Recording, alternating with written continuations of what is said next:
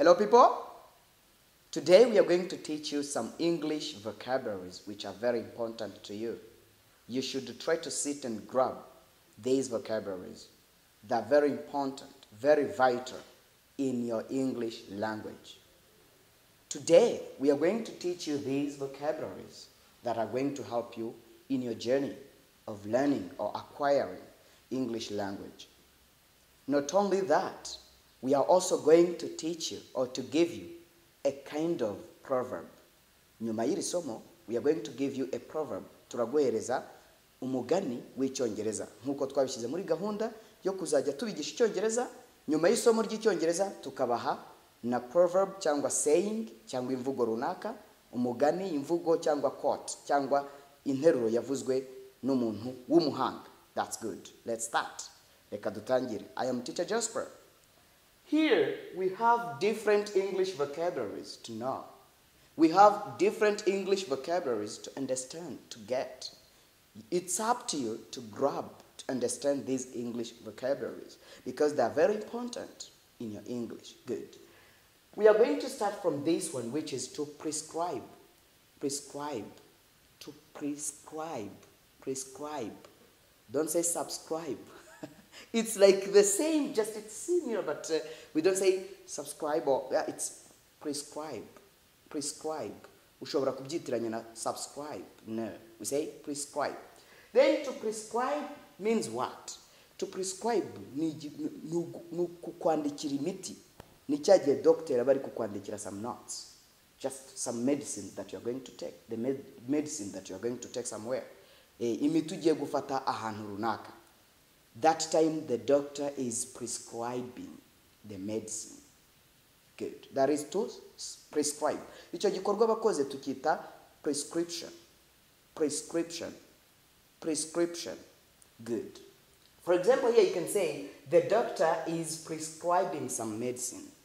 Ni ukuvuga ngo mwa- umuganga dogiteri arimo kunyandikira cyangwa ari kwandika imiti ari kutwandikira imiti nta kibazo twatashye. Ntacyo muri ibi bitaro the, the doctor is now prescribing some medicine. That is to prescribe good.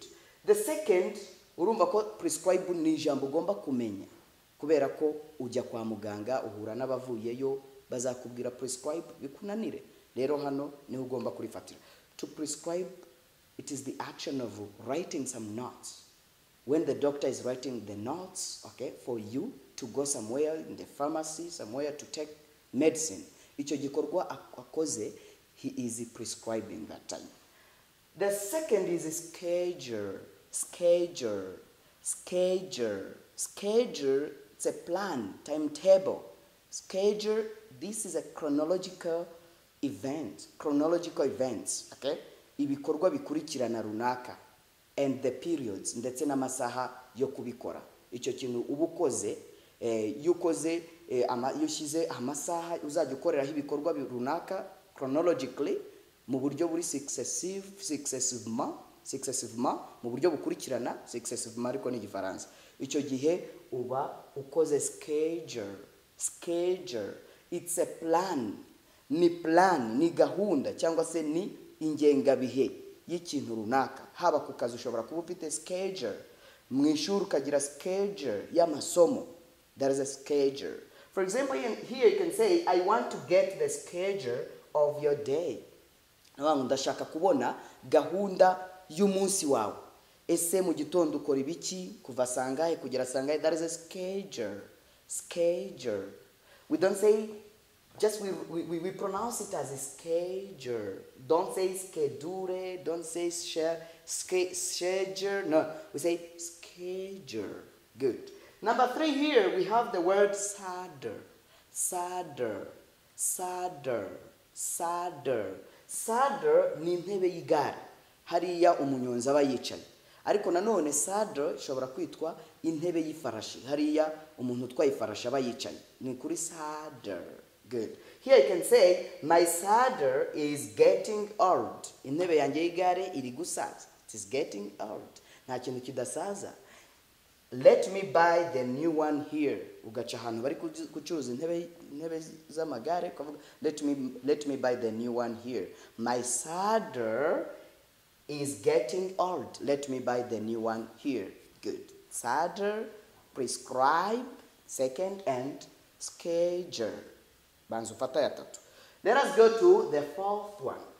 The fourth vocabulary is this one. Pneumonia. We don't say pneumonia, no. This P is silent. We say pneumonia, pneumonia, pneumonia. Pneumonia nicho twita indwara y'umusonga. Umusonga. Pneumonia.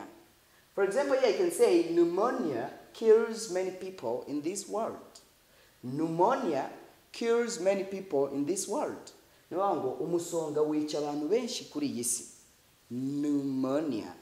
Pneumonia. Don't say pneumonia. No. Keretse iyo ugiye mu gifaransa ni bwo tuvuga pneumonie. Pneumonie. Pneumonie. Pneumonia. Globally. Globally. Iyo uvuze ikintu kiri kuba globally.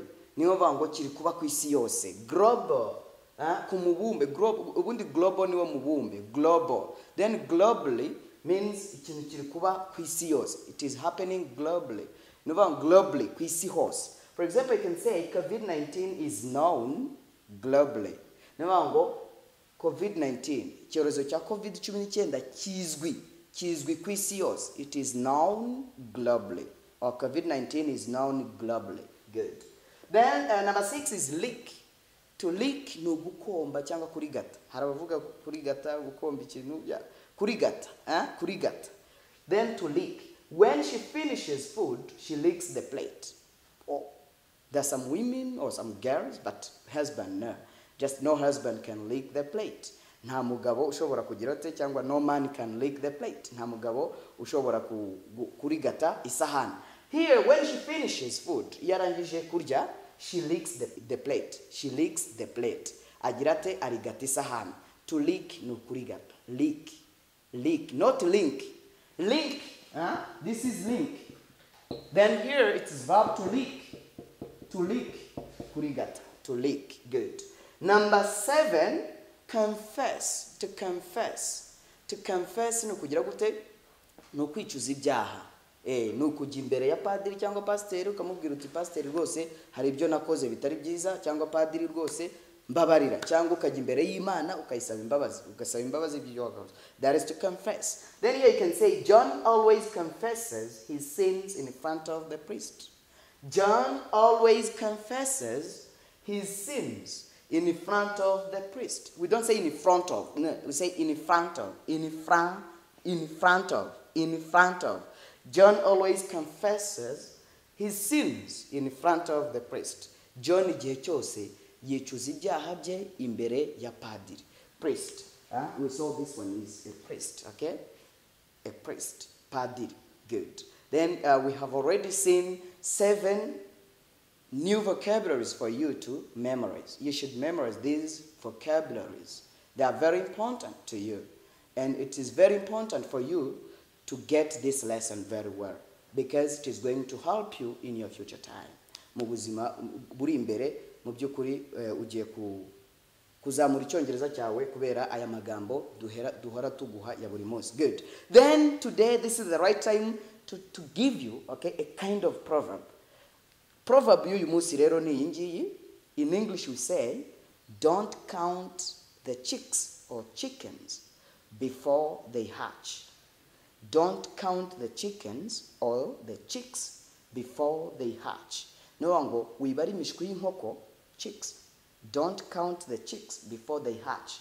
Wibare imishwi y'inkoko itaraturaga cyangwa se ya nkoko yawe ufite itaramena itaramena amagi itaraturaga ntukabare ibyo utarabona don't say i have 2 million.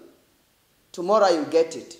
I have it 100% no just maybe tomorrow you are going to lose the, the, the 2 million that you, you, you, are, you are talking about today. That's why it's- yeah you should never count the chicks before they hatch. Don't count the chicks before they hatch. Wibare imishwi y'inkoko inkoko itara itaraturaga uwo ni akubwira ati yeah just have got a new job nabonye akazi ku cyumweru nzasinya contract miliyoni eshatu barajya bazima buri kwezi ugahita umubwira my friend stop by there don't count the chicks before they hatch You may think that you've got the new job, but that job is occupied but another person. Eh, ushobora kugira ngo wabonye aka- akazi keza ariko akazi kafashwe n'undi muntu. Thank you very much, dear friends. Don't count the chicks before they hatch. I am teacher Jasper. We are together for the next lessons. Bye bye. Love you so much.